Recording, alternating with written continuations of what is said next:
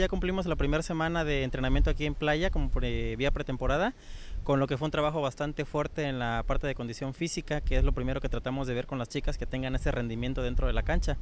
Está manejando unas fechas de visorías de esta semana, lo que es miércoles, jueves y viernes, para todas aquellas chicas que quieran integrarse a formar parte del primer equipo de, que, que tomará parte en la liga de ascenso y pues obviamente también habrá chicas que quieran integrarse para el sistema de reservas del primer equipo o fuerzas básicas para llevar todo lo que es su proceso correcto para este camino de formación al fútbol profesional.